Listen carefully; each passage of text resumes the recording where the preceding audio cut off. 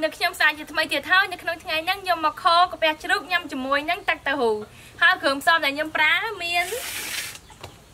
នេះកាពះជ្រូកចំនួន2ហើយអានេះហ៊ុនខ្ចីហ្នឹងឡើងមកឆ្កោមចឹងហ្មងហើយបន្លែវិញមានការ៉ុតពោតខ្ទឹមបារាំងតសក់កូនស្បៃបកគោផ្សិតផ្លូវមន់អំបិលតាក់ចៅហ៊ូខ្ញីខ្ទឹមសពោតកាក់ស្លឹកខ្ទឹមក្រូចឆ្មាហើយនឹងម្ទេសទុំតោះឥឡូវចាប់ដើមធ្វើជាមួយនឹងខ្ញុំទាំងអស់គ្នាដំបូងឡើយខ្ញុំលាងកាពះជ្រូកហើយនឹងហ៊ុននឹងឲ្យស្អាតសិន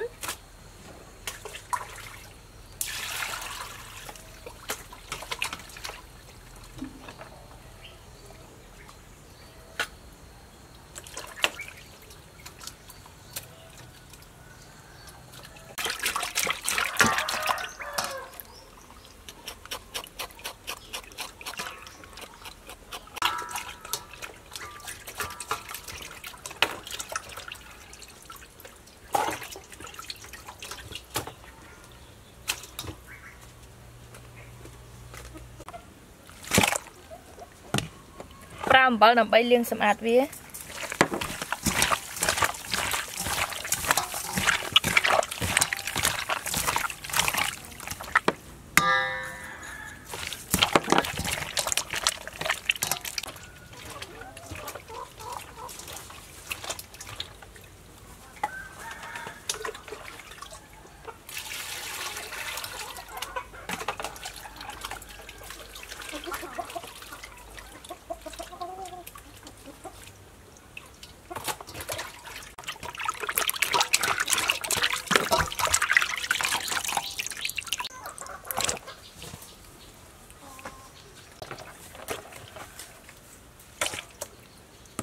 តមទៀតខ្ញុំលាងជាមួយនឹងក្រូចឆ្មា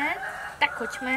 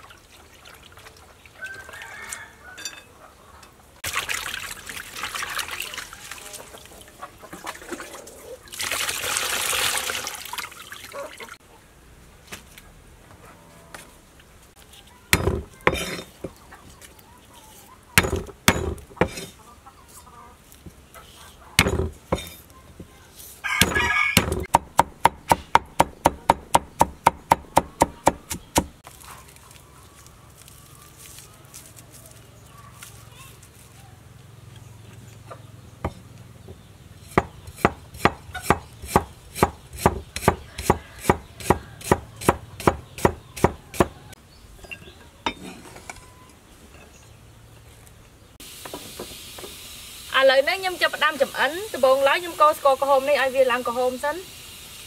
ឡើងជើងក្រង់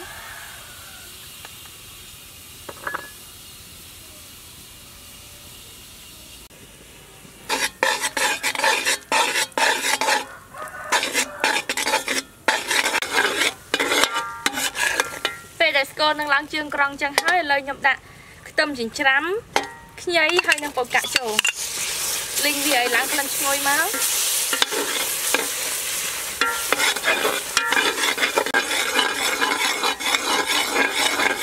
តោះបន្តិចខ្ញុំដាក់ទឹកត្រីចូល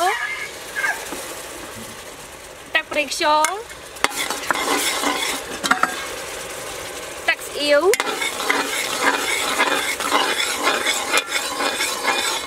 ដាក់កាហ្វេហើយនឹងហ៊ុនតាមនឹងចូលមក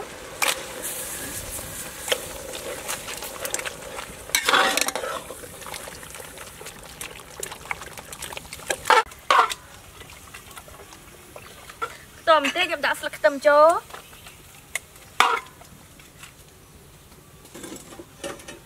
ហើយរងាស់វាសិនឥ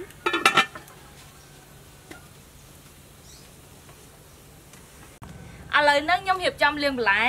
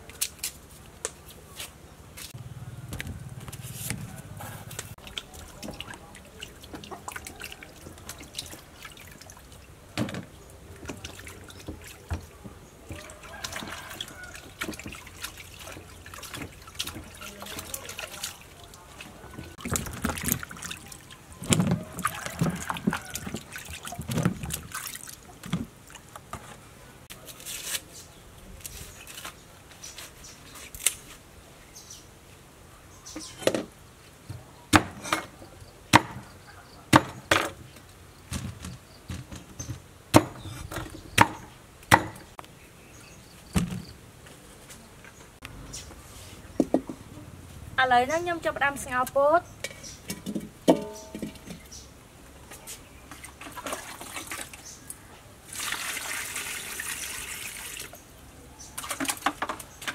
ដាក់អំបិលចូលបន្តិច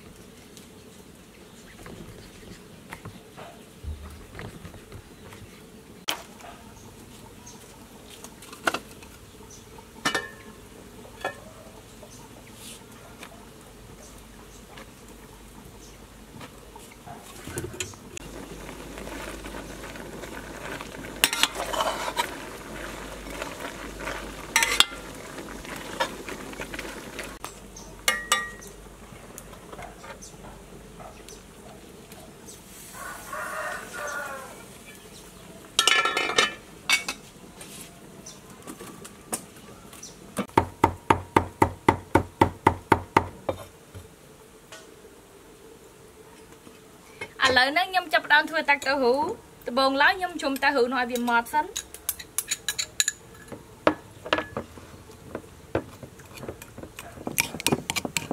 តបន្តិចខ្ញុំដាក់ស្ករសម្សៅស៊ុបខ្ទឹមសហើយនឹងម្ទេសកុហកទុំតែច្រាំឲ្យម៉ត់តាក់ក្រូចឆ្មា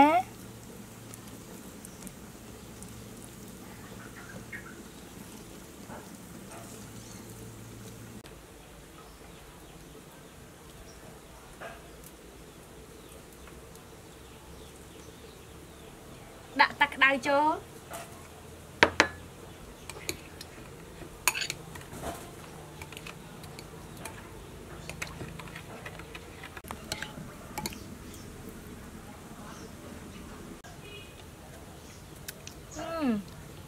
ជូរអែមឆ្ងាញ់មែនតើ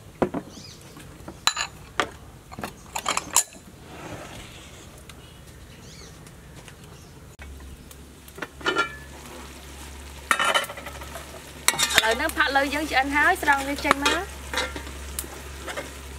អូយគ្រាន់តែឈ្ងុយហ្មង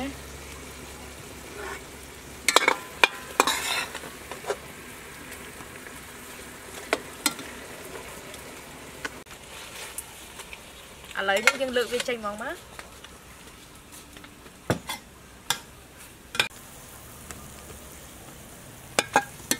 ដាក់ទាំងផ្សិតផ្លូវមន់យើងមិញនឹងដែរទៅ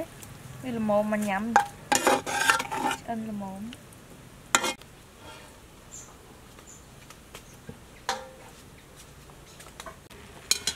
ឥឡូវហ្នឹងស្រង់ពោតចេញមកដោយសារវាឆ្អិនហើយ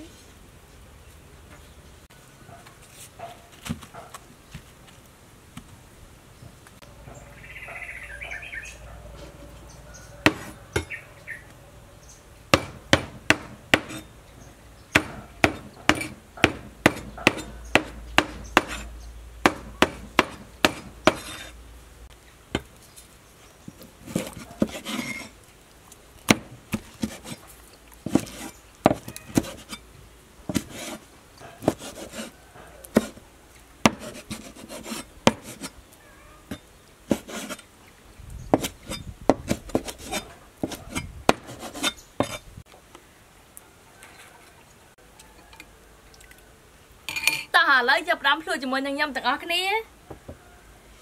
អូយមកតាក់ទៅហូរវិញឡើងតំណងគួរឲ្យចង់ញ៉ាំហ្មងណាអឺត្រូវចិត្តគ្នាឆ្ងាញ់នេះផាក់លើយើងឲ្យគ្នាឡើងល្អមែនតើអឺ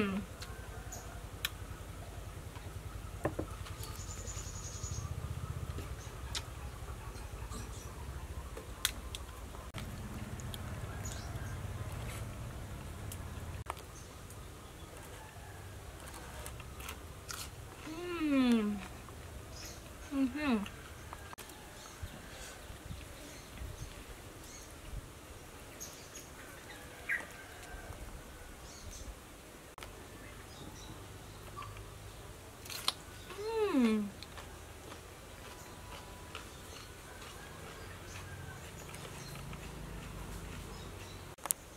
គុណអ្នកទាំងអស់គ្នាចំពោះការទស្សនាវីដេអូរបស់ខ្ញុំជួបជាមួយខ្ញុំនៅវីដេអូក្រោយៗទៀតបាយបាយ